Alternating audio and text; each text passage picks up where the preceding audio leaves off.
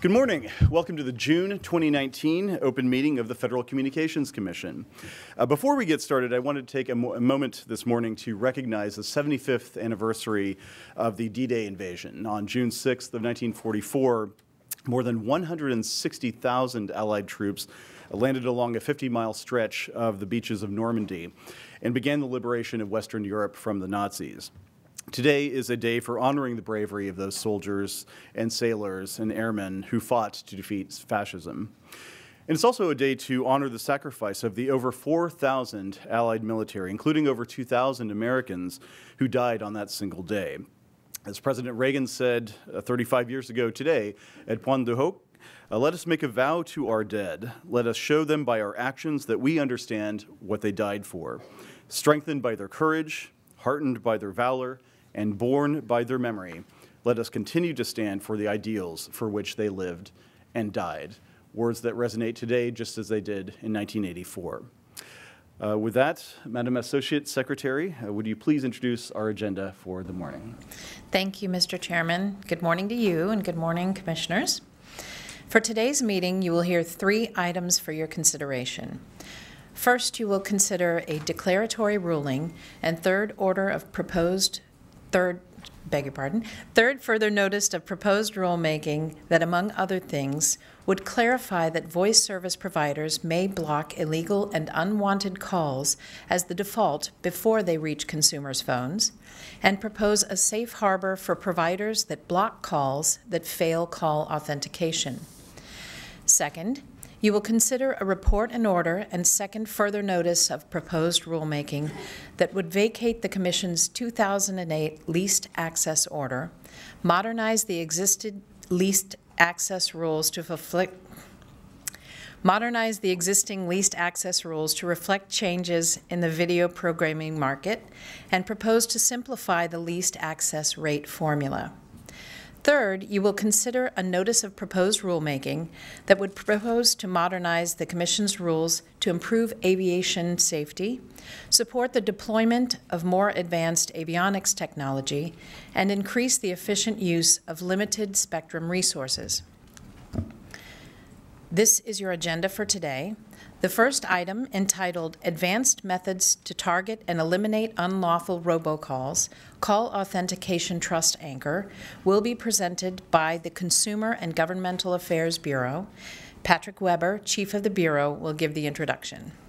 Thank you very much. Uh, Chief Webre, the floor is yours. Thank you. Good morning, Mr. Chairman and Commissioners. Good morning. Today I am pleased to introduce an item that addresses the problem of unwanted and illegal robocalls. Protecting consumers from these bothersome calls is the Commission's top consumer protection priority.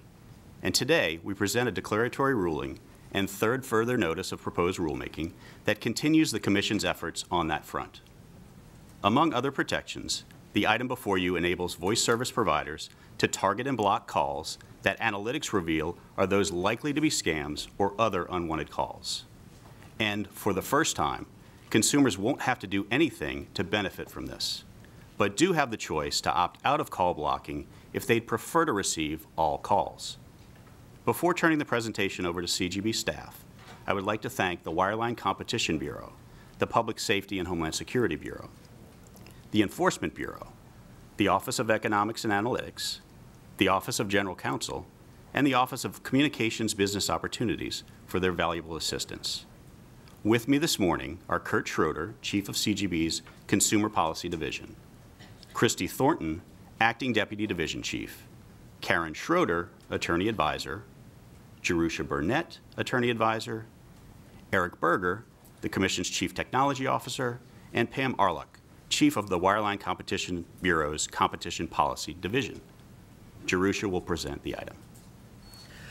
Good morning, Mr. Chairman and Commissioners. The declaratory ruling and third further notice of proposed rulemaking before you continues the Commission's work in targeting unwanted and illegal robocalls. Every year, the Commission receives hundreds of thousands of consumer complaints about unwanted calls. In 2018 alone, we received 232,000 of these complaints. While these calls are a regular and ongoing nuisance, many pose real threats, such as fraud or identity theft. The Commission has previously made clear that voice service providers may block certain categories of calls where the caller ID is clearly spoofed. The Commission has not addressed where the caller ID is not spoofed or where the caller spoofs a legitimate in-service number. Today's item takes steps to allow voice service providers to block these types of robocalls before they reach consumers' phones without requiring consumers to sign up first. The declaratory ruling makes clear that voice service providers may offer certain robocall blocking tools to their customers. First, it clarifies that voice service providers may, as the default, block calls based on reasonable call analytics that target unwanted calls, so long as their customers are informed and have the opportunity to opt out. Second, it clarifies that voice service providers may offer customers the ability to block calls from any number that does not appear on the customer's whitelist or contact list on an opt-in basis. These clarifications enable providers to now offer consumers more powerful tools to stop unwanted calls. The third further notice of proposed rulemaking proposes and seeks comment on other forms of blocking based on the SHAKEN/STIR caller ID authentication framework. Proposes to stop steps to ensure that emergency calls are not blocked and seeks comment on requiring voice service providers to implement the SHAKEN/STIR framework. First, it proposes to create a safe harbor for voice service providers that block maliciously spoofed calls and seeks comment on extending that safe harbor to the blocking of calls that are unsigned and originate on networks of certain categories of voice service providers. Second, it proposes to require voice service providers that block calls to establish a critical calls list, including outbound numbers of 911 call centers and government emergency outbound numbers to ensure that emergency calls reach consumers. Third, it seeks comment on protections and remedies for callers whose calls are erroneously blocked. Finally, it seeks comment on requiring voice service providers to implement the SHAKEN/STIR framework in the event that major voice service providers fail to implement the framework by the end of 2019. Taken together, these proposals seek to protect consumers from illegal robocalls and ensure the effectiveness and integrity of the SHAKEN/STIR caller ID authentication framework, while also ensuring that the most important calls are never blocked. We recommend adoption of this item and request editorial privileges to make technical and conforming edits. Thank you. Thank you, Ms. Burnett, for your presentation. We'll now turn to comments from the bench, beginning with Commissioner O'Rielly. Thank you, Mr. Chairman. On the outset, let me thank Chairman Pai for his enormous leadership on the fight to eliminate bad robocalls. He's been incredibly focused on reducing this perverse problem. I'm at a lack to see more things or steps the chairman could do on the matter. Like my fellow commissioners, I share the desire to eliminate the menace of illegal robocalls and believe that this item is very well intended, though I nonetheless wonder if it may lead to certain problematic consequences. Completely legitimate organizations and businesses regularly engage in so-called robocalling to provide consumers with critical and time-sensitive information such as fraud alerts, flight schedule changes, school closures, delivery window delays, prescription notices, appointment reminders, public safety alerts, and yes, anti-delinquency notices. Efforts to attack illegal and fraudulent calls should not restrict or prevent these beneficial robocalls. To ensure lawful calls are delivered to consumers, I've urged carriers to adopt expeditious processes to correct call blocking and labeling errors. We should applaud providers for offering such services to their customers, generally free of charge, and I've supported the adoption of safe harbors from Communications Act liability. However, formally, uh, uh, formalizing redress mechanisms is a necessary corollary, corollary, especially for blocking performed at the network level and not subject to consumer consent. And that is why in November 2017, illegal, in the legal robocall blocking order, I sought inclusion of a further notice seeking comment on adopting mechanisms to ensure swift redress for erroneous blocked calls. I have heard countless accounts of erroneous blocking and labeling both prior to and in the aftermath of the 2017 order and welcome the adoption of a further item in response to that record in prompt course. Notably, that 2017 order only allowed carriers to block very circumscribed categories of calls, namely calls that do not did, on a do not originate list, those from invalid, unallocated, or unused numbers. That's a narrower universe than the vast range of calls affected by today's declaratory ruling, which enables opt-out blocking of illegal and unwanted calls. While I fully and wholeheartedly support Commission efforts to purge illegal calls from our networks, I am concerned about encouraging default blocking of so called unwanted calls. Categories like wanted and unwanted can be somewhat vague and subjective, to put it mildly. Giving carriers such vast discretion to decide which carriers are unwanted could lead to wanted calls containing highly pertinent consumer information being blocked. Further, to the extent that carriers may block calls by virtue of their reasoned, reasonable analytics, that term seems to invite similar risk of problematic blocking. While there are very sophisticated call analytics services on the market that boast very low error rates, we don't favor any particular maximum error rate or the use of analytics of a certain caliber. Since the treatment of a given call has been shown to vary from service to service, callers could experience unpredictable call completion outcomes. Excuse me. As any email user knows, spam filters, which operate through similar analytics, are by no means perfect. Almost everyone has had the experience of missing important messages because of an oversensitive filter. For a service that is generally free and unregulated, I can accept that burden to go to the spam filter periodically to look for erroneous labeled emails. That same circumstance doesn't exist for voice calls, which have been hyper-regulated for decades and do not feature a mechanism to indicate what has been missed. To the extent that providers implement this new default regime, I worry that consumers will only realize that important voice calls have been blocked after it's too late. I sought to rectify this potential harm by requesting that the item at a minimum require carriers to implement a redress process for erroneous call, blocked calls. After all, even the CEO of First Orion, one of the largest analytics companies and likely beneficiaries of this item, recently sat in my office and stressed the need for mechanisms to respond to blocking complaints effectively and expeditiously, in, the wor- in his words, in hours, not days.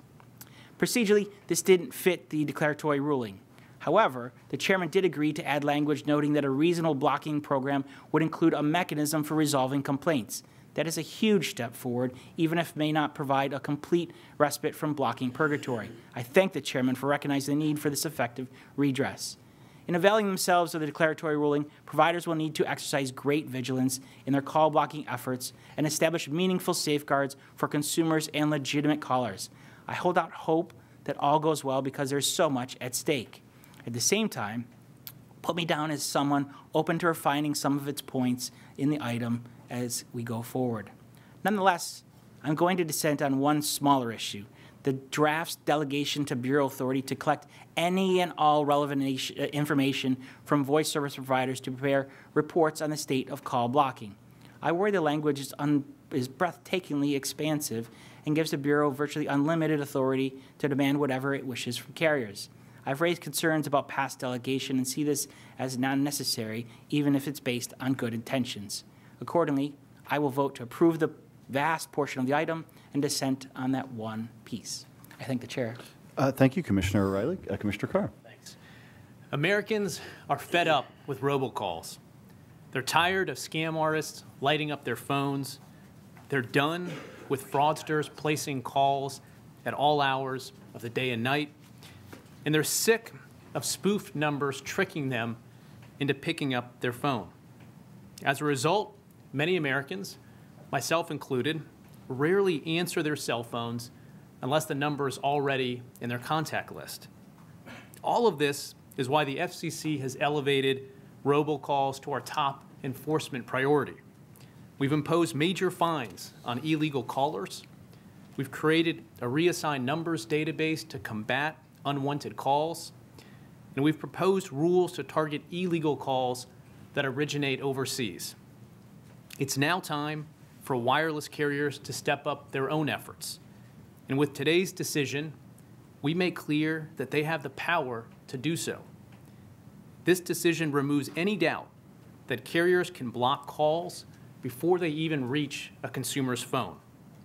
And it clarifies that carriers can offer customers the option of blocking all calls that don't appear on their white list or a contact list.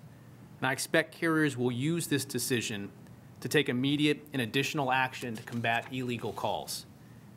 To ensure that providers do step up their efforts, I ask my colleagues to expand today's notice to seek comment on setting up a robocall scorecard. The idea is pretty straightforward. It's to publicize data on each carrier and how effective they are at targeting illegal calls. By bringing transparency to these metrics, we could enhance consumer choice and create additional incentives for carriers to continue their efforts to crack down on illegal calls. So I look forward to seeing how the record develops on that idea. Finally, our action today is no silver bullet. It's part of a series of actions we're taking to break the back of illegal robocalls. Another important step will be the industry's implementation of the SHAKEN/STIR call authentication framework. And on this score, I want to commend Chairman Pai for expanding today's notice to seek comment on requiring carriers to implement this framework. By seeking comment today, we're now in a position to move directly to an order if industry's own efforts to implement the regime fall short. So I want to thank the staffs of the Consumer and Governmental Affairs Bureau for your work, the Office of Economics and Analytics, and the Wireline Competition Bureau for your diligent work on this item. I look forward to continuing to work with all stakeholders, and the item has my support. Thanks. Thank you, Commissioner. Commissioner Rosenworcel. Robocalls keep getting worse, and consumers are paying the price.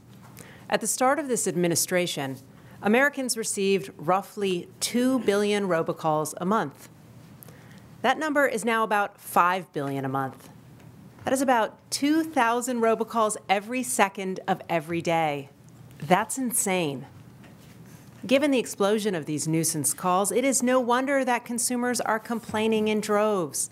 They are complaining here at the Federal Communications Commission. They are seeking redress with our colleagues at the Federal Trade Commission. They are registering their righteous anger in state houses, in courthouses, and on Capitol Hill. They're frustrated and they are seeking a fix.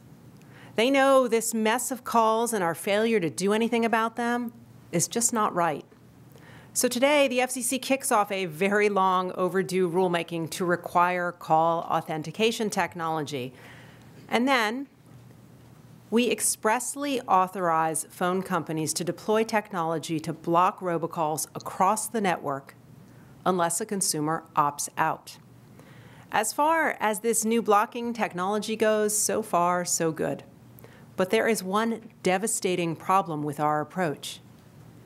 There is nothing in our decision today that prevents carriers from charging consumers for this blocking technology to stop robocalls. I think robocall solutions should be free to consumers, full stop. I do not think that this agency should pat itself on the back for its efforts to reduce robocalls and then tell consumers to pay up. They are already paying the price in scams flooding our phone lines, wasted time responding to false and fraudulent calls, offering us what we did not ask for, do not want, and do not need, and a growing distrust in our most basic communications. I like hope. But I am not interested in pinky promises. I think we should be upfront and clear with consumers that today's decision offers no more than an expectation that phone companies installing this technology will not charge consumers a premium for its use. But every one of us knows there is nothing enforceable about an expectation. There is nothing here that prevents companies from charging each of us whatever additional fees they want to put this call blocking technology on our line. I'm a consumer too. I receive robocalls at home, in my office, on my landline, on my mobile. I've even received multiple robocalls sitting here on this dais. I want it to stop. But I do not believe I should have to pay for that privilege. I am disappointed that for all of our efforts to support new blocking technology, we couldn't muster up the courage to do what consumers want most stop robocalls, and do it for free. On this aspect of today's decision, I dissent. Commissioner Starks. Thank you, Mr. Chairman.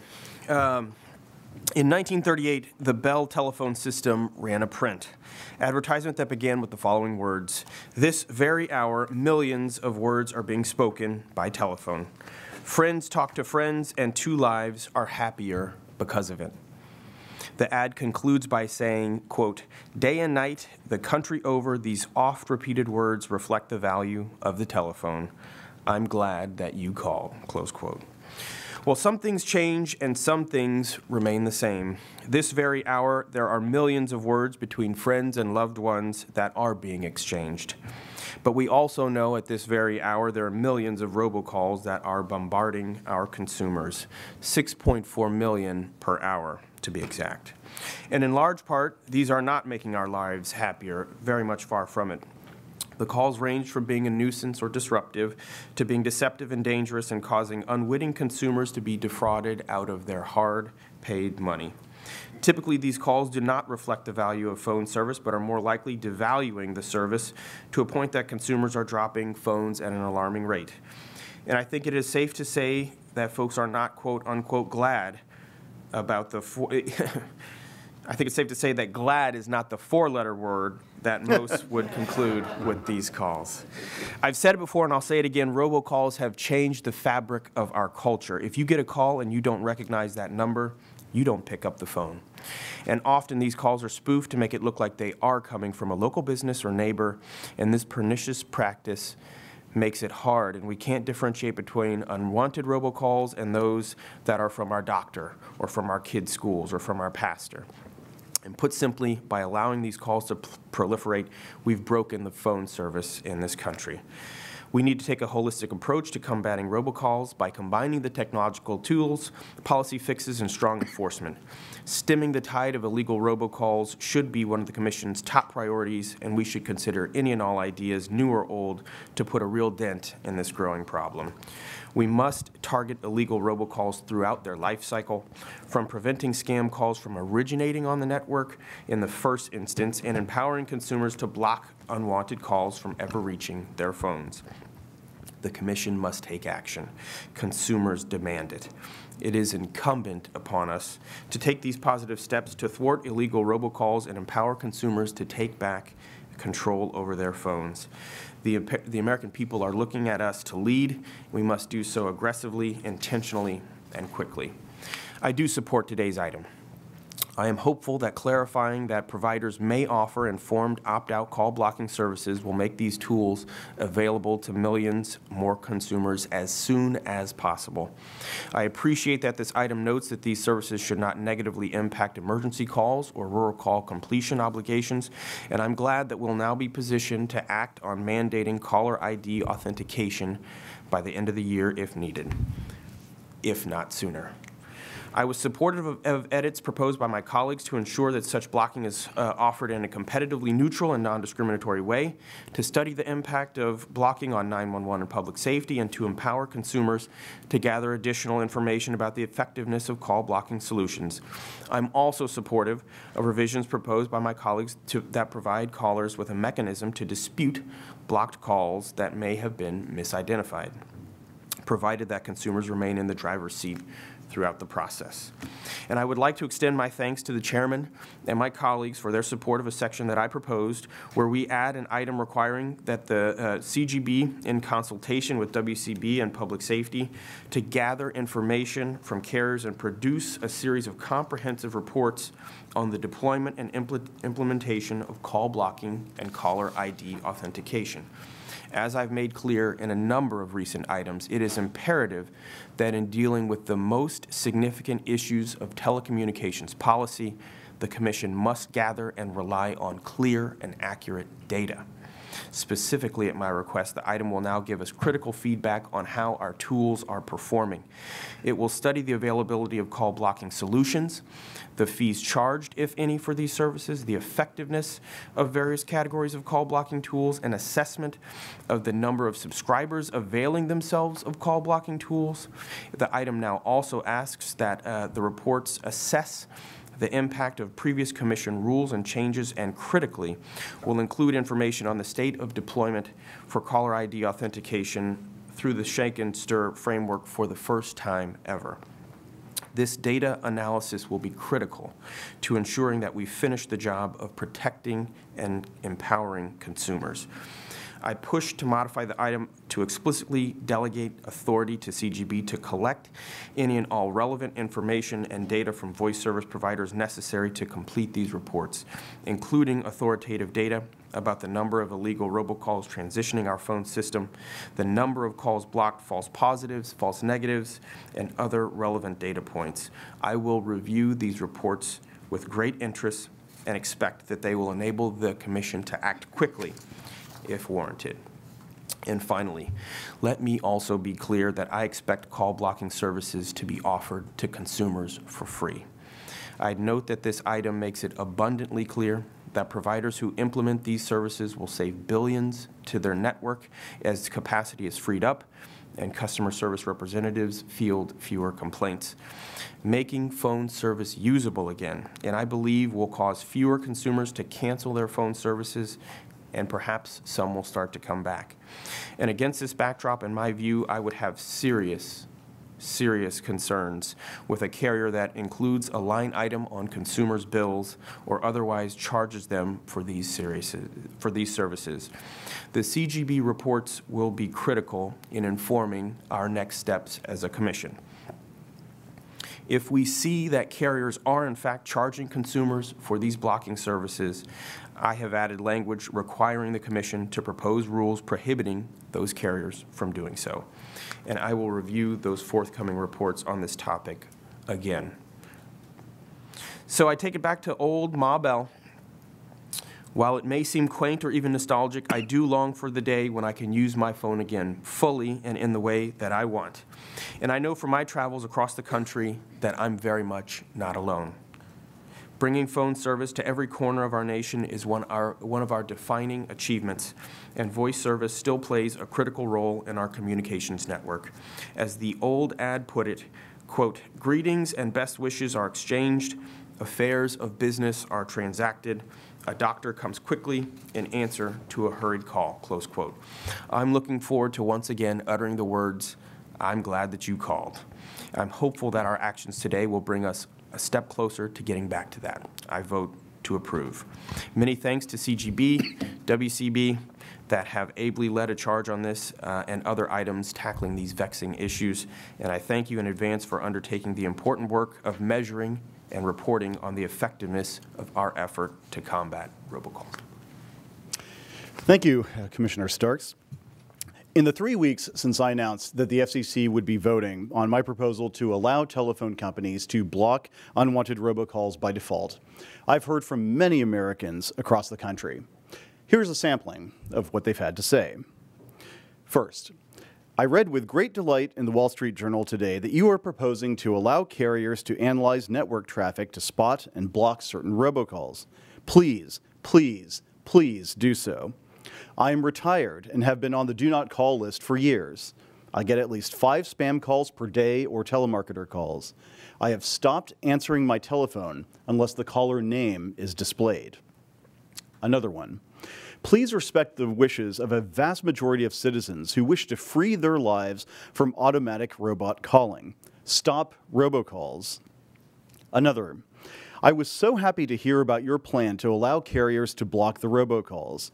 I've been so depressed because I feel these robocalls have absconded with my expensive iPhone. There is simply no rest from these calls. Another, I just read today's paper about your plan to block robocalls, and I support it. I get two or three robocalls per day. It has to be stopped. Please move ahead as soon as possible. Another, I received over 500 robocalls from the end of February until the end of March of this year from so-called health insurance. These calls all came from spoofed phone numbers. Why would any legitimate company have to spoof their phone number to try to solicit business? The calls slowed down for a few weeks, but are now kicking up again. Today, I've received eight calls with no voicemails. I now have to put my phone on Do Not Disturb so I can get my peace. You will be my hero, and I dare say millions of other Americans, if you actually put an end to this harassment. Another, Do not side with the businesses that want to harass our fellow citizens. We are getting international and domestic robocalls at all hours of the day, including the early AM hours from countries like Lithuania. This has to stop. And finally, following my op ed in this morning's USA Today, and I quote, Hooray for our FCC chairman, unquote. That was from my mom. She's still a consumer. Uh, these voices are representative of what I hear when I travel across the United States, except that they contain no expletives. If there's one thing in our country today that unites Republicans and Democrats, liberals and conservatives, socialists and libertarians, vegetarians and carnivores, Ohio State and Michigan fans, it is that they are sick and tired of being bombarded by unwanted robocalls. And my message to the American people today is simple. We hear you and we are on your side. Since the beginning of 2017, fighting illegal robocalls has been the FCC's top consumer protection priority. In the last two years, for example, we've expressly authorized phone companies to block certain categories of calls that are highly likely to be illegal, such as calls purporting to be from unassigned, unallocated, or invalid phone numbers. We've taken steps to address the problem of unwanted calls to reassigned numbers by authorizing the creation of a reassigned numbers database. We've taken strong enforcement action against illegal robocallers, imposing or proposing almost a quarter billion dollars in forfeitures against callers for illegal spoofed calls. And we've demanded that industry develop and implement by the end of this year caller ID authentication, a critical component in the fight against illegal caller ID spoofing. But, as Commissioner Carr pointed out, there isn't a silver bullet to solving the problem of unwanted robocalls. So today, we take additional steps as part of our comprehensive strategy to combat what former Senator Fritz Hollings once rightly called the scourge of civilization. Most importantly, we clarify that phone companies may immediately start offering call blocking programs by default, based on any reasonable analytics designed to identify unwanted calls, so long as consumers are given the choice to opt out.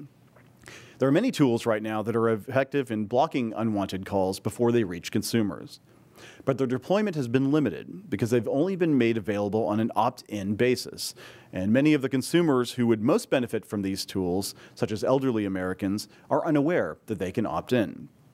We believe today's clarification will make it easier for consumers to participate in and benefit from call blocking programs. We also want to ensure that consumers can make an informed decision whether to remain in a call blocking program or not. And that's why we are requiring providers to clearly disclose to their customers what types of calls may be blocked and the potential risks of blocking wanted calls, while providing them with an opt-out mechanism. We also clarify that providers may allow consumers to opt in to more aggressive blocking services. Specifically, carriers can permit their own uh, can permit consumers to use their own smartphone's contact lists as a whitelist and block calls not included on that list. I'm optimistic that all of these measures will meaningfully reduce the number of unwanted robocalls that Americans get. Now, of course, I recognize that not everyone is a fan of our approach. Some opponents themselves are subjecting consumers to unwanted robocalls. And well, my message to them is simple. This FCC will stand with American consumers, not with those who are badgering them with these unwanted robocalls. I also recognize that some who make legitimate calls have expressed concern about our decision today. But I believe that we have appropriately addressed their concerns by making clear that any reasonable call blocking program offered by default must include a mechanism for allowing legitimate callers to register a complaint and for having that complaint resolved. And in that regard, I thank Commissioner O'Rielly for his input. Turning to the third further notice, we advanced significant proposals related to the caller ID authentication framework known as SHAKEN/STIR. Shake and Stir will be critical in telling consumers whether the caller ID information they see is real or spoofed. And it can be used to assist with blocking spoofed calls. And that's why we are proposing a safe harbor for phone companies that choose to block calls that can't be authenticated under SHAKEN/STIR. And when it comes to the implementation of SHAKEN/STIR, I have made clear my expectation that major carriers will get this done by the end of this year. I believe that a voluntary, industry-led process is most likely to achieve this goal. And to date, I have been pleased by the progress that industry has made and am optimistic that the end of the year deadline will be met. But in case it isn't, the FCC will not hesitate to take regulatory action. That's why today we are taking the necessary steps so that we'll be in a position to take regulatory action early next year, should that be required. In closing, I would like to express my thanks for my colleagues who offered edits during the last three weeks that have made this a better item. And I would also like to thank all of the Commission staff who worked so hard to bring the American people much needed relief. From the Consumer and Governmental Affairs Bureau, from the Enforcement Bureau, from the Office of Communications Business Opportunities, from the Office of Economics and Analytics, from the Office of General Counsel, from the Office of the Managing Director, from the Public Safety and Homeland Security Bureau, and from the Wireline Competition Bureau. Your work on this item has been heroic, and I salute you for your efforts. With today's action, the FCC is taking a major step forward in the fight against unwanted robocalls. And now is the time for telephone companies to take the baton. I commend those carriers who have stepped up to the plate and have already indicated that they will implement call blocking services by default. And I encourage those who haven't already done so to listen to the American people and help us end this scourge. With that, we'll proceed to a vote on the item. Commissioner O'Rielly, Yes on the majority item and no on one portion. uh, Commissioner Carr, Approve. Commissioner Rosenworcel, Approve in part, dissent in part. uh, Commissioner Starks. Approve. The chair votes to approve. The item is adopted with editorial privileges granted as requested. Thanks for the fantastic work. Uh, Madam Associate Secretary, could you please take us to item number two on today's agenda? Mr. Chairman and Commissioners, the next item will be presented by the Media Bureau and is entitled Leased Commercial Access, Modernization of Media Regulation Initiative. Michelle Carey, Chief of the Bureau, will give the introduction. Thank you very much. And uh, Ms. Carey, whenever you and your team are ready, the floor is yours. Good morning, Mr. Chairman and Commissioners. The Media Bureau presents a report and order and second further notice of proposed rulemaking that seeks to update our leased access rules. These rules require cable operators to set aside channel capacity for commercial use by unaffiliated, unaffiliated video programmers. This item is the 13th order that the Commission has considered as part of its ongoing media modernization initiative. Joining me at the table are Martha Heller, Stephen Broeckaert, and Diana Sokolow of the Policy Division. Diana will present the item. Mr. Chairman and Commissioners, I am pleased to present this report in order and second further notice of proposed rulemaking seeking to update the leased access rules. The video marketplace has changed significantly since the Commission first adopted leased access rules decades ago. Today, a wide variety of media platforms, including online platforms, are available to programmers as alternatives to leased access. The report and order first vacates the Commission's 2008 leased access order, which never went into effect due to a stay by the U.S. Court of Appeals for the Sixth Circuit and the disapproval of the associated information collection requirements by the Office of Management and Budget. Vacating the 2008 order is consistent with today's highly competitive video marketplace. Second, the report and order modernizes our existing leased access rules. It eliminates the requirement that cable operators make leased access available on a part-time basis, and it provides that cable operators, regardless of system size, are only required to respond to bona fide leased access requests. It also extends the time frame for providing responses to leased access requests and permits cable operators to require leased access programmers to pay a maximum application fee of $100 and a maximum deposit equivalent to 60 days of the applicable lease fee. In addition, it requires cable operators to provide contact information for the person responsible for leased access matters. Finally, the further notice proposes to modify the leased access rate formula so that rates will be specific to the tier on which the programming is carried. The Media Bureau recommends that the Commission adopt the report in order and second further notice of proposed rulemaking, and it requests editorial privileges to make any necessary technical or conforming edits. Thank you. Thank you for your presentation. We'll now turn to comments from the bench, starting with Commissioner O'Rielly. Thank you, Mr. Chairman. As just stated, this order vacates the Commission's 20 2008 leased access order, updates the existing leased access rules, expresses the Commission's view that the video marketplace has changed dramatically in recent years with a wide variety of media platforms available for content creators to utilize for program distribution. In particular, I am pleased to see the Commission affirm that over-the-top providers and other digital avenues are substitutes for traditional video distribution. This is a viewpoint I have long advocated and one that I expect to inform the Commission's media regulations going forward. Regarding the specifics of the item, I believe eliminating the part-time access and requiring that cable operators only respond to bona fide requests will go a long way in cleaning up the operations of the statutory mandate and may provide the Congress with a compelling reason to revisit or even repeal the current statute. At a minimum, the rules adopted today will help cover the cost borne by operators that must respond to requests. As I've noted before, I'm not sure there ever was a golden age of lease access, but the Commission did regulate in this arena pursuant to congressional direction.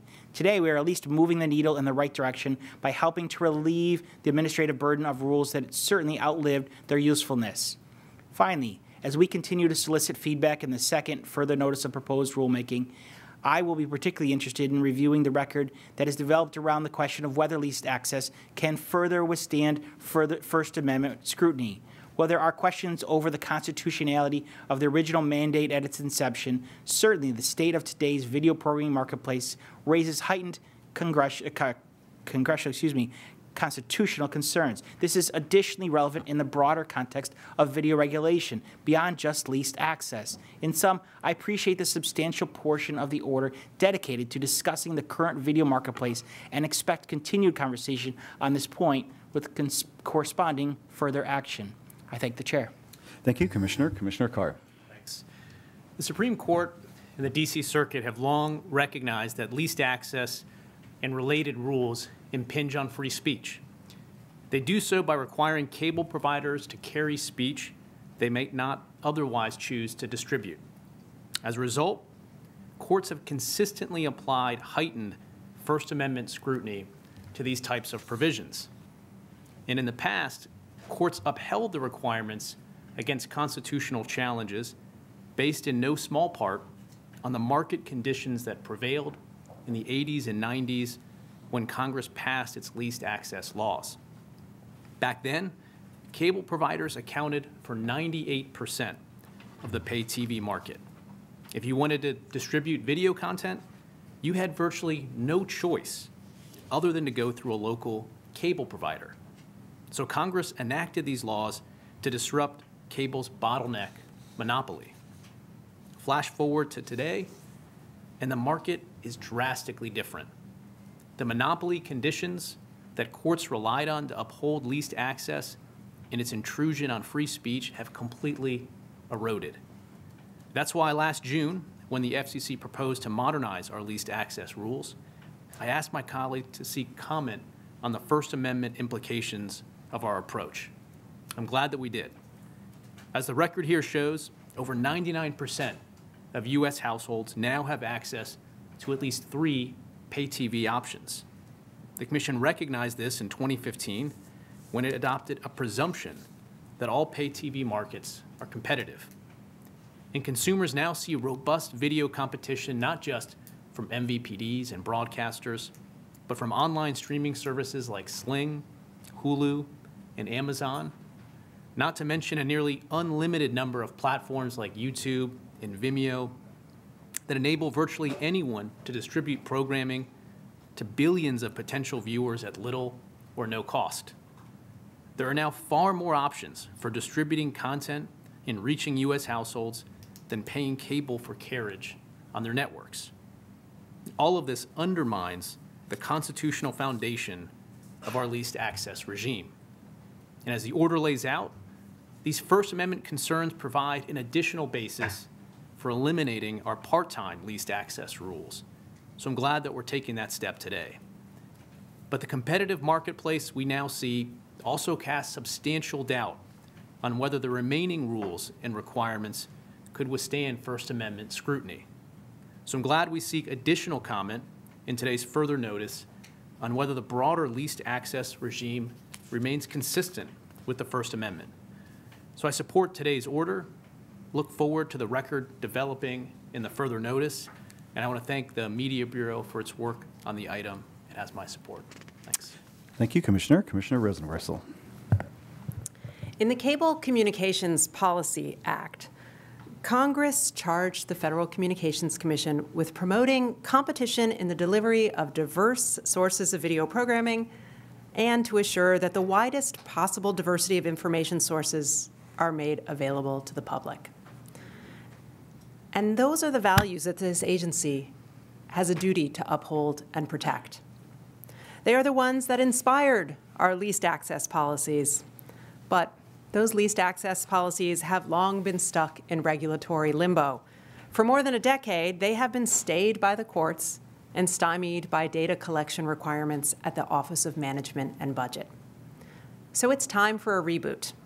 And I support our effort to do so here today, but I have some concern about how we proceed because we have set the bar high for leased access, and have we have loaded it down with some newer requirements like deposits and full-time capacity channel purchases. So going forward, we will need to monitor how this new set of policies work in practice so that we can be sure that we are living up to our statutory responsibilities. Moreover, on the way to this outcome, I think this decision fundamentally misinterprets the First Amendment values that support our leased access rules. In fact, I think the language in this order dismissing the constitutional foundation of our rules is overbroad and wrong, and I dissent in this respect. The First Amendment does more than protect the speech interests of corporations. As courts have long recognized, it is a force to support individual interest in self expression and the right of the public to receive information and ideas. As Justice Black so eloquently put it, the widest possible dissemination of information from diverse and antagonistic sources is essential to the welfare of the public. Our leased access rules provide opportunity for civic participation. They enhance the marketplace of ideas by increasing the number of speakers and the variety of viewpoints. They help preserve the possibility of a diverse, pluralistic medium, just as Congress called for in the Cable Communications Policy Act. The proper inquiry, then, is not simply whether corporations providing channel capacity have First Amendment rights, they do, but whether this law abridges expression that the First Amendment was meant to protect. Here, our leased access rules are not content based, and their purpose and effect is to promote free speech. Moreover, they accomplish this in a narrowly tailored way, and they do not substantially burden more speech than is necessary than to further important interests. In other words, they are not at odds with the First Amendment, but instead help effectuate its purpose for all of us.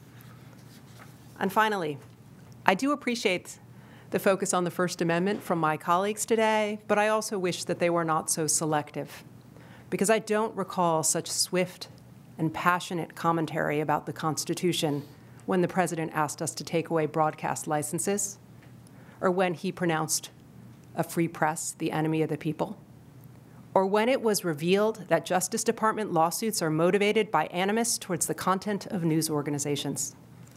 I don't think history will be kind to that silence, so I look forward to them speaking up when this happens in the future. Thank you, Commissioner. Commissioner Starks. Thank you, Mr. Chairman. In this item, the Commission considers our rules governing leased access, a statutory requirement that allows independent programmers to purchase carriage on certain channels offered by cable providers. These rules have been in stasis since 2008, when rule changes made at the time were stayed by the D.C. Circuit. For 11 years, this proceeding has remained stuck, and I support the Commission's efforts to extricate itself from the morass and take a fresh look. And so, on that account, I approve. However, I must dissent in part because I think that the First Amendment analysis offered by the majority here today goes too far and will put at risk a well-established cable carriage obligations and other parts of our telecommunications framework. Specifically, I'm concerned with the language in the report and order opining on whether our leased access rules are consistent with the First Amendment. The majority here offers that there is, quote, substantial doubt on the foundation for our leased access rules, close quote, essentially for one reason. That is the explosion of the internet has changed everything. I disagree. First and most basically, it doesn't change our fundamental duty to act according to the directives of Congress wherever it is spoken on a matter. Indeed, lease access requirements have already withstood a facial First Amendment challenge with the courts, noting that the rules requiring cable operators to carry leased access channels were supported by important government interests in promoting diversity and competition in the video programming marketplace. The fact that uh, the majority of this commission may disagree with the statute or a judicial decision does not give us the authority to rewrite that statute and ignore the courts. Second, the constitutional reasoning and analysis advanced by the majority today is not in any way, as I read it, limited to the rules at issue here today. And so I believe it could have a far-reaching impact. I would urge my colleagues to proceed with caution and take a closer look that the internet provides an alternative outlet for some Americans to view content is undeniable, but that alone should not result in a reinterpretation of our First Amendment pr- principles with respect to cable.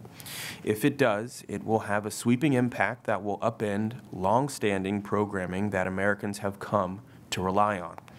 Public educational government PEG channels, must carry elections of local broadcasters, our program carriage regime, and even, yes, children's programming.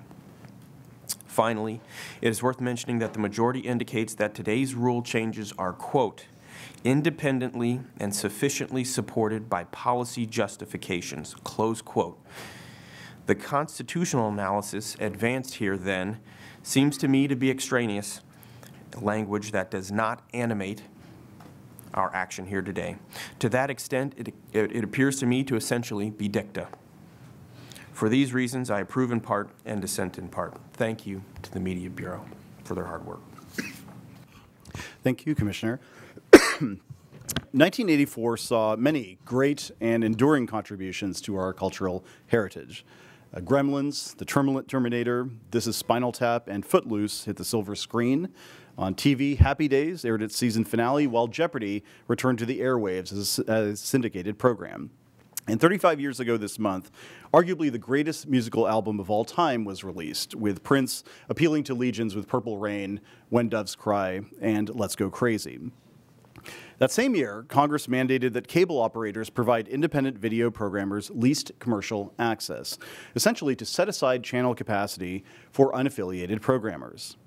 Unlike the entertainment milestones just discussed, leased access has not aged well. The video marketplace of 1984 is virtually unrecognizable today. Most Americans then only had access to a few broadcast stations and a single cable operator. At that time, leased access was intended to give independent programmers a unique chance to reach consumers. Today, our leased access regime is basically the Betamax of FCC video regulation. Today, programmers can and do create and share all sorts of video content online to a worldwide audience. More outlets exist to distribute programming than ever before. And content creators can even distribute their own programming.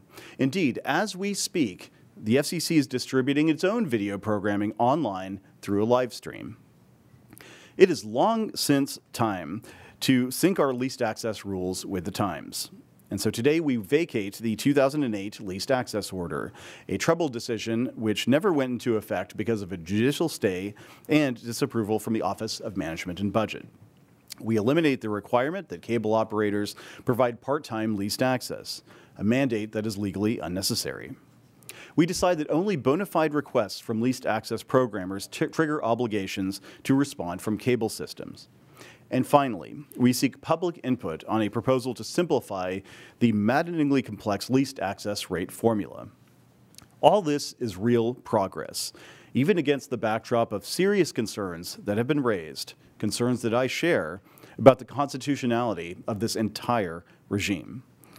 For their efforts, I would like to thank the excellent staff of the Media Bureau and the Office of General Counsel, in particular Stephen Broeckaert, Michelle Carey, Katie Costello, Nancy Murphy, Holly Sauer, and Diana Sokolow from the uh, Media Bureau, and Susan Aaron, James Carr, and David Consul from the Office of General Counsel. We appreciate your work on the entire modernization of media regulation initiative, and in particular the incident effort, which has my full support. Uh, with that, we'll move to a vote on the item. Commissioner O'Rielly. Aye. Commissioner Carr? Approve. Commissioner Rosenworcel? Approve in part, dissent in part. Commissioner Stark? Approve in part, dissent in part. Uh, The chair votes to approve. The item is adopted and with editorial privileges granted as requested. Thanks for the great work. And uh, Madam Associate Secretary, could you please take us to the last item on today's agenda?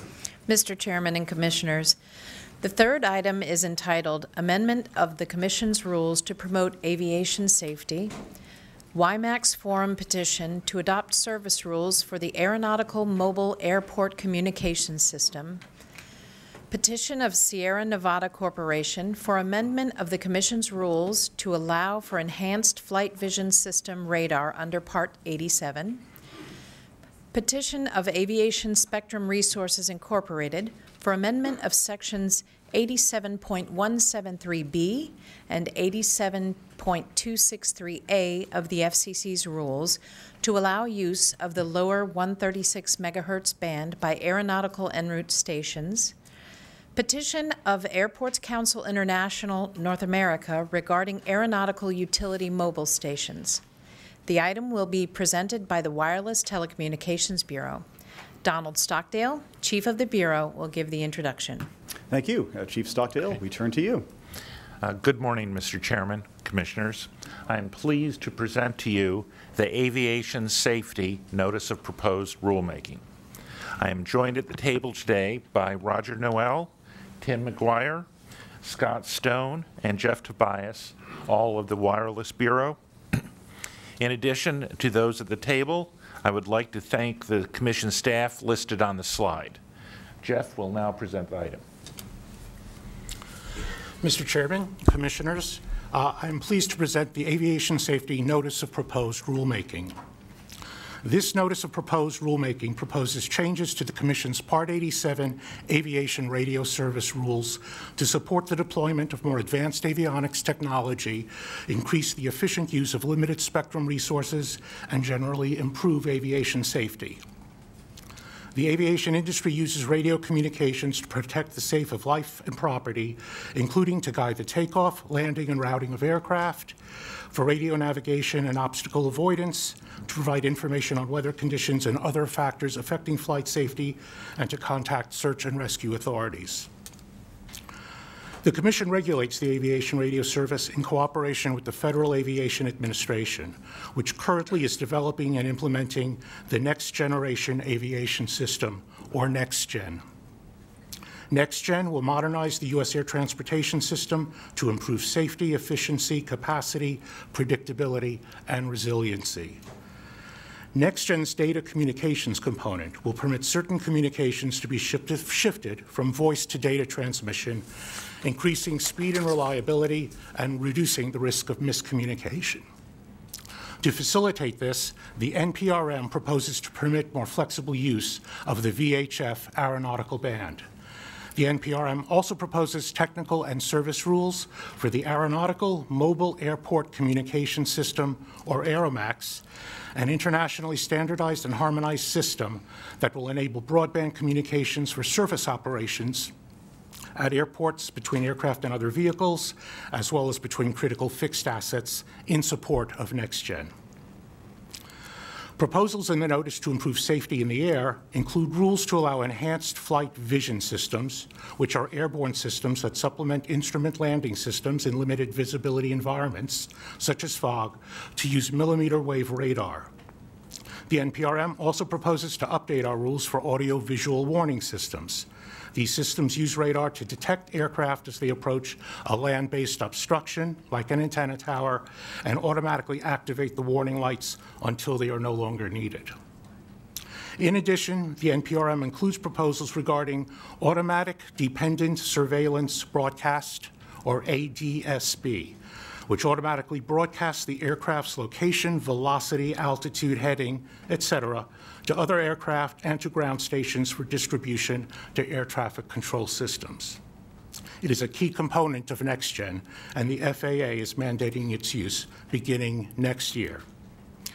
The Bureau recommends adoption of this item and requests editorial privileges to make technical and conforming edits. Thank you, Mr. Tobias, for the, uh, for the uh, presentation. We'll now turn to Commissioner O'Rielly for his comments. I'm going to submit my statement for the record. Thanks, Oh, Mr. Okay. Uh, Commissioner Carr. Not so lucky. Ah. There'll also be a visual portion of this, so. uh, The FAA's Next Gen initiative aims to modernize air travel by incorporating new technology into aircraft, especially around in-flight communication. Next Gen includes performance-based navigation, which takes advantage of GPS signals to route planes more efficiently, saving time and fuel. NextGen's data comm system allows pilots and air traffic controllers to communicate via text instead of by voice command, reducing the chance of misunderstandings and delays. An automatic, automatic dependent surveillance broadcast, or ADS-B, transmits each aircraft's position, as we heard, its altitude, speed, and other information automatically so traffic controllers and other aircraft can safely coordinate flight paths. I learned more about this last technology from a pilot in Louisville's police department. Brian Arnold is the chief of Louisville's police helicopter division with more than 20 years of service. And when I joined him for one of his patrols above the city, he showed me some of the advanced communication technologies that allow him to coordinate with other law enforcement on the ground. With ADS-B, Brian told me, air safety will be greatly improved by broadcasting in real time the exact position of every aircraft. But he also identified one way that this new technology could actually undermine public safety. Brian noted that criminals can easily obtain this new location information and use it to determine when police helicopters, border patrol, or even military aircraft take off, and then monitor their exact flight paths and operations in real time. It's not difficult to imagine how criminals or foreign adversaries could take advantage of this new and easy access to location information to evade or undermine law enforcement activities as well as our national security interests. Indeed, the GAO issued a report last year that highlighted the security risks of openly transmitting flight and location information from DoD aircraft. It's information that anyone can obtain from a number of publicly accessible websites. Thankfully, the FAA is working on this issue, and time is of the essence, since all aircraft must comply with ADS-B by January 2020. I asked my colleagues to expand today's notice to seek comment on the steps we can take, if any, to support the FAA's work to protect the security of law enforcement, public safety, and military operations as ADS-B comes online. And I want to thank my colleagues for agreeing to do so. I look forward to reviewing the record as it develops on this issue, and I want to thank the Wireless Bureau for its work on the notice. It has my support. Thanks. Thank you, Commissioner. Commissioner Rosenworcel. You know, the legend of Amelia Earhart, it captivates. She was responsible for so many aviation firsts. She was the first woman to fly solo across the Atlantic and the first person to fly solo from the Hawaiian Islands to the continental United States. But despite all this, she is best known for how she disappeared. While on a record setting flight circumnavigating the globe, she vanished over the Pacific Ocean. The wreckage from her plane was never found. There's something haunting about flights that disappear, and there is something very human about our desire to do something about it. But that urge is not limited to the legend of Amelia Earhart. It burns with every new report of a downed plane. Like 10 years ago, when an Air France flight was lost in the Atlantic Ocean, or five years ago when Malaysia Airlines Flight 370 disappeared, or more recently, when an Indian Air Force plane was lost for good over the Bay of Bengal. In our always on and connected world, it just about feels impossible that we still lose track of flights.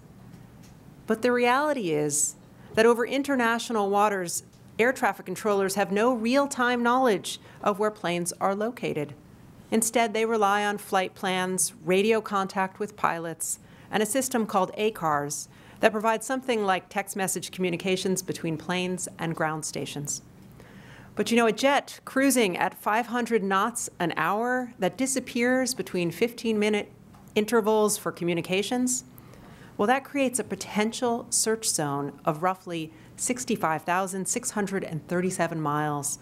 That's as big as the state of Florida. It's a lot of territory to cover. So to address this problem, the Federal Aviation Administration mandated that all United States aircraft must use a tracking system called Automatic Dependent Surveillance Broadcast, or ADSB, as you heard my colleague just speak about. As a result, by 2021, aircraft will broadcast their global positioning system location each second. A network of ground stations across the country will collect this information and provide it to air traffic controllers.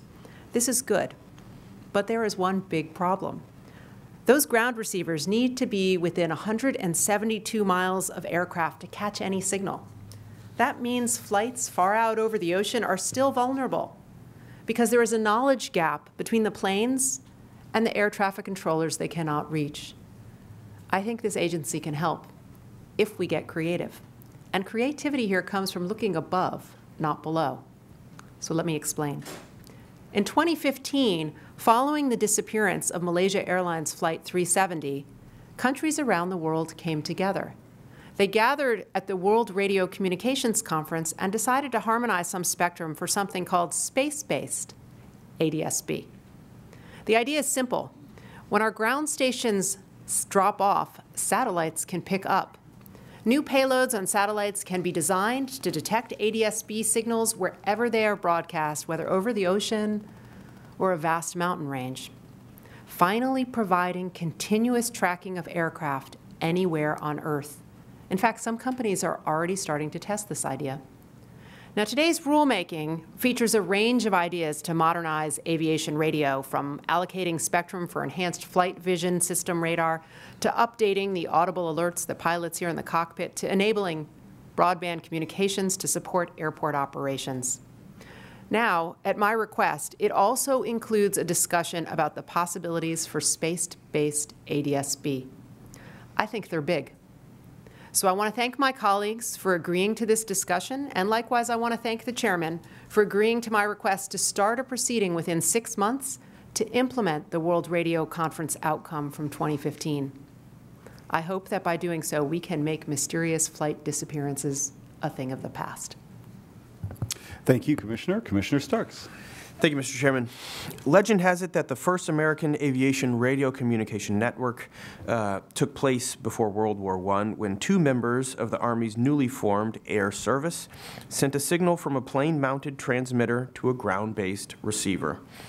Within a few years, pilots were talking to each other and ground from the air, although Morse code certainly remained the primary means of aviation communication till World War II. And into the 1950s, air crews relied not on radios, but on astronavigation to determine their position using a sextant, a map, the sun, and the moon and stars. The pilots of those days would be amazed at the communications and navigation tools available to modern aviators. Today, our technology not only provides reliable communications between and among aircraft and the ground, but also highly accurate navigation tools, weather updates, collision avoidance, automatic flight control, flight recording, and flight management services. We can even check our work emails from the air now, and I know how grateful you are for that. Today's NPRM represents another step forward in ensuring that America remains a leader in aviation communications. We propose several rule changes to enable the use of 21st century systems that can make flying safer, including computer systems that will produce images of terrain and obstacles when the weather conditions are too poor for pilots to see. We also propose rules to harmonize FCC policies with those of FAA regarding the ADS-B system, which automatically broadcasts GPS-derived data on aircraft's location, velocity, altitude, and heading to other ADS-B equipped aircraft and ground stations.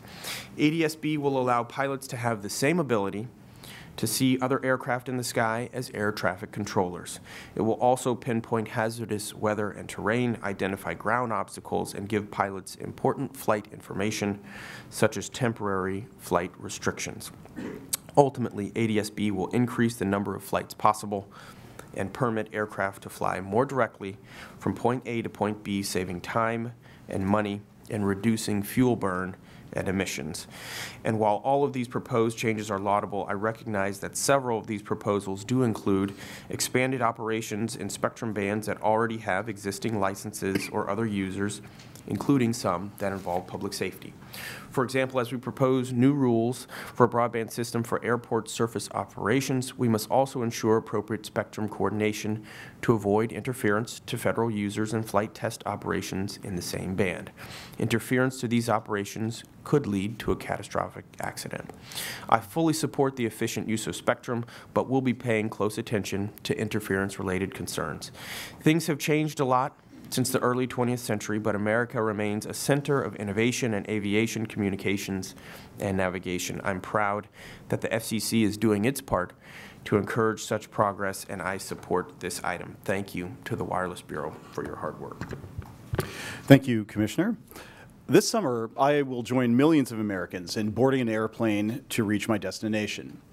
Now, some might take for granted that flights will be safe but not me, in part because I know that a lot of work goes into ensuring that thousands of flights take off and land smoothly in our country every single day. A critical aspect of aviation safety is provided by wireless communications, and that's where the FCC comes in. The Commission's aviation radio service uses dedicated spectrum for aviation communications. These services enable aircraft and ground services to coordinate important safety functions, like guiding aircraft takeoff and landing, routing aircraft on the, air, on the ground and in the air, helping pilots avoid obstacles, and contacting search and rescue authorities in the event of an accident. I've often said that it is important for the FCC to update its rules to reflect current technological and marketplace realities. And that's certainly the case when it comes to rules impacting aviation safety.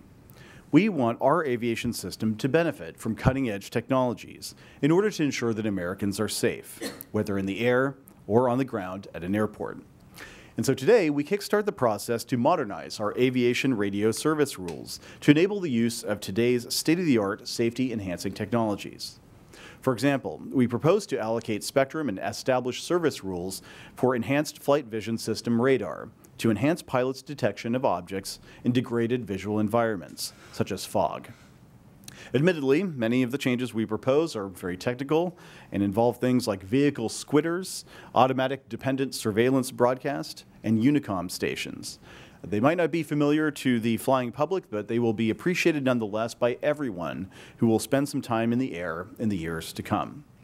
I look forward to reviewing the responses from our commenters and working with my colleagues and the Commission's terrific staff on bringing this proceeding in for a landing. Uh, this particular proceeding reflected the best interdisciplinary tradition of the Commission, and so my gratitude extends to the Wireless Telecommunications Bureau, the Enforcement Bureau, the International Bureau, the Public Safety and Homeland Security Bureau, the Office of Communications Business Opportunities, the Office of Economics and Analytics, the Office of Engineering and Technology, and last but not least, the Office of General Counsel. This was truly an all-hands-on-deck effort. Uh, with that, we will move to a vote on the item. Commissioner O'Rielly? Aye. Commissioner Carr? Approve. Commissioner Rosenworcel? Approve. Commissioner Starks? Approve. The chair votes to approve as well. The item is adopted. The additional privilege is granted as requested. Thank you very much. Uh, This time, does anyone have any announcements? Yes, Oh. I have one, sorry. Sure, okay. Uh, I wanted to just take this moment and introduce Chris McGillen to our office. He is our latest intern, one of only six that we've had in my time here. He comes to the agency from the University of Colorado Law School. Some of you are familiar with that. He previously spent eight years in the U.S. Air Force as a pilot and spent time as a government contractor, originally from Michigan. Uh, So this is his first week on the job, and we want to thank him for all the work that is to come. That sounds so Sounded ominous. I know. Oh, uh, Commissioner Grody? I want to introduce uh, our three summer interns, uh, Francis, Shelby, and Andrew. Uh, And we'll start with uh, Francis, if you can stand up so that uh, everyone gets an idea of who you are. Uh, Francis is currently working, uh, attending Tufts University, where he's a rising junior studying international finance and French. And this upcoming school year, he'll be doing a year abroad at the London School of Economics. Uh, Last summer, he worked for Senator Thune on Senate Commerce, and previously worked as an intern for Senator Tim Scott from his home state of South Carolina. So I guess we're going to put you on the spot there. Are you uh, Clemson or USC? Okay, good. No need for a buzzer that is a reference to the school's mascot. Uh, Shelby is a rising third-year student at uh, University of Colorado Boulder. She's originally from Florida. Uh, Shelby's interested in both antitrust and telecom law, so she came to the right place, I think. She's also active in her law school's Silicon Flatirons program. So thank you to welcome you. And you also have a dog that I forgot the name. It's Miss. Miss Coda. Okay. And did the dog make the, the trip with you out here? No, she's in Colorado. Okay. All right. Well, we'll keep an eye on that. Just be, remotely. these things can be vetted in the office, by Yeah. the way. this, is, this is the one time that we actually pointing talk, out, yeah. talk with each other in Yeah, exactly. forums. And finally, uh, Andrew, uh, he's a rising 2L at GW Law, and he's originally from Lancaster, Pennsylvania. He told me that's the proper way to say that. he spent the past year working uh, for NCTA, where he worked on such sleepy topics as net neutrality and privacy. and previously, he worked at FreedomWorks as an economics researcher. So we're glad to have the trio uh, on board for the summer. Thanks. Uh, Commissioner Rose, or did I you do. both do? Commissioner Starks? Yes. Thank you, Mr. Chairman. Uh, I have four interns. All right. Here. Yes, um, and have been joined by uh, them here just over the last two weeks. And as my legal advisors are referring to them as the cavalry. Uh, so, first we have Brylan Dradi, who is at the University of Colorado School of Law. Before law school, Brylan worked as a paralegal for a small civil litigation firm and an immigration firm. She's a graduate of Tulane University, where she completed her economics degree in three years. Brylan grew up on a horse farm outside of Boulder, where she has three horses and two dogs. Next, we have Mo Savdari, who is a joint MBA Master of Public Policy MPP program at Harvard University. He hails from Peoria, Kansas, Peoria, Illinois. I was going to say. Oh, yeah. Excuse me, Mo. Pe- Peoria, Illinois. There's And such a bias towards Kansas. Objective. objective. previously worked at Facebook. Before then, Mo was a member of Teach for America, where he taught science to at risk kids at an alternative school in Dallas. Mo's a big traveler, has been to all 50 states. Thanks, Mo.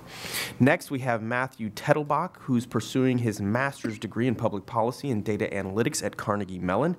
Matt is also a former teacher and is passionate uh, about using data to drive and improve outcomes in the public sector. One of his recent work projects was mapping and coordinating multi organizational disaster relief efforts following Hurricane Harvey. And like Mo, Matt is an avid traveler, has visited all 50 states uh, and over 20 countries. Thanks, Matt. Finally, we have Michael Weingartner, who is at the University of Pennsylvania, where he researches domestic te- telecommunications and privacy regulations alongside global data security policy. Prior to law school, Michael worked in education, opioid recovery, and as a comedian, where he wrote and performed political satire. The first time Michael ever wrote about rural broadband access, it consisted mostly of jokes and clips from the Minnesota Cat Video Festival, which is a real thing, uh, and is, in his view, one of the most pressing reasons to deploy nationwide broadband. Thanks to my summer class. Uh, Thank you, Commissioner. I have a few announcements as well. Uh, First, it is my sad duty to inform uh, the audience that we have lost a member of our FCC family from the Public Safety and Homeland Security Bureau. Uh, Greg Intoccia, a former legal advisor in the Cybersecurity and Communications Reliability Division who retired from the FCC in 2017, uh, passed away on May 25th. Uh, Greg had a very impressive career, having graduated from the United States Air Force Academy in 1978, uh, getting a master's in political science from Wichita State University in 1981, a JD from the University of Denver in 1985, and a PhD from the University of Missouri St. Louis in 1998. Uh, Greg loved this country, and he served in the United States Air Force as an active duty officer and as a judge advocate in the Department of Defense. Uh, he continued his military career in the reserves when he joined uh, the FCC. He was recalled to active duty in support of the wars in Iraq and Afghanistan, uh, serving the office of the Secretary of Defense.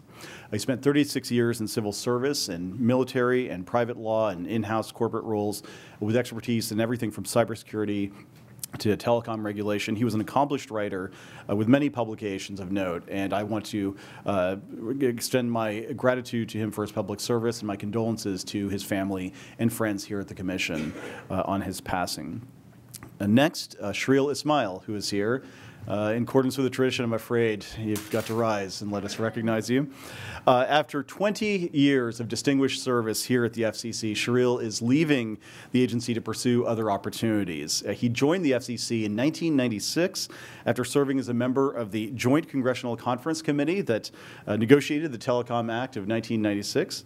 He's most recently been serving as a senior counsel in the, commissioner's, the Commission's new Office of Economics and Analytics, having served in a similar role in the former Office of uh, Strategic Planning and Policy Analysis. He also served as a deputy chief of the Cable Services Bureau and deputy chief of the Office of Legislative Affairs. One of the things I love the most, however, about Sherille's story is that it really is the American story, as he and I have talked about before. Uh, he was born in Sri Lanka and he lived with his family for a short time in Zambia. Uh, he first came to America as a student delegate representing what was then called Ceylon, now Sri Lanka, to the World Youth Forum, which brought together students from 32 countries for a three month stay in New York and Washington, D.C. It's been a little more than three months. Uh, Sherille then went to uh, Georgetown, where he uh, graduated from the School of Foreign Service and from the law school. He served as a high-ranking uh, uh, staffer on the House Judiciary Committee before coming over here to the FCC. Sherille, we very much appreciate your service to our country uh, for the symbol that your success represents to all Americans, and we wish you well in the happy years of retirement to come. Thank you.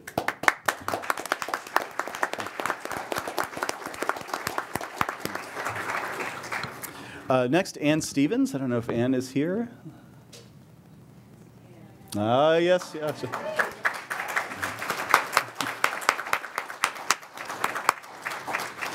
Don't mess with WCB. That's a good. That's, that's right.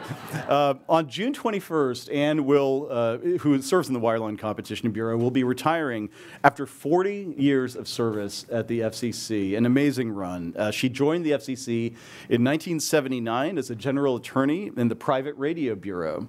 Uh, she's held various positions within the former Common Carrier Bureau and now WCB, where she has served as an assistant chief and a deputy chief in the policy division since 1996. Uh, Ann has worked on literally hundreds of items over the course of her distinguished career here at the agency. Uh, she's considered one of, if not the, leading experts at the agency on numbering policy, and this is something that I got to see up close and personal during the LNPA transition when some were suggesting that this would be the end of civilization, but she expertly guided us through uh, this transition. Uh, and civilization, contrary to what you might see on Twitter, has not ended. Um, but on a whole host of issues, from the LNPA transition to the complex auction of toll-free numbers uh, or re number resource utilization, she is the go-to person uh, here at this agency. Uh, in addition to her unparalleled expertise, she's been responsible for the hiring and training of countless uh, commissioned staff over the years, and she's been a really strong mentor to them and many others across the agency. And we will miss uh, your wise counsel, your generous spirit, and your modesty and humility in approaching these complex tasks. We wish you the very best in the time to come. Thank you for your service.